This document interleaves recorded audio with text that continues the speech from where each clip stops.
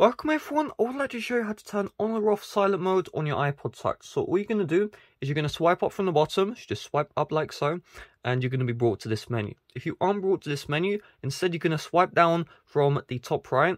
If you swipe down from the middle or the top left, it won't work, just swipe down from the top right. And you just want to be brought to this page right here.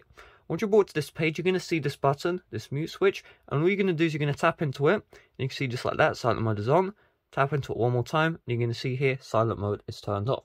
If you do not see the silent mode here, what you're going to do is you want to head over to settings, and you're going to navigate to the home page. So you should see something like this.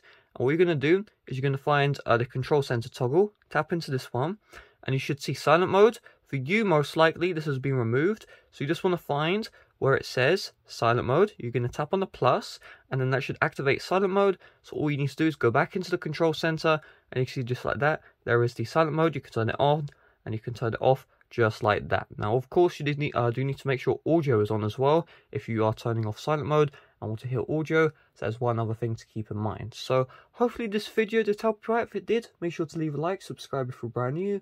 Thanks for watching. See you guys later. Bye-bye.